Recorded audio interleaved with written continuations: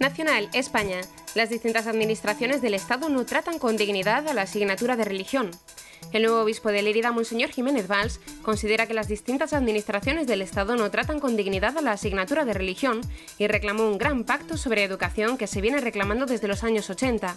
También se ha referido el prelado a la necesidad de aprovechar todo tipo de medios de comunicación para que la voz del Señor llegue a todos los sectores de la sociedad.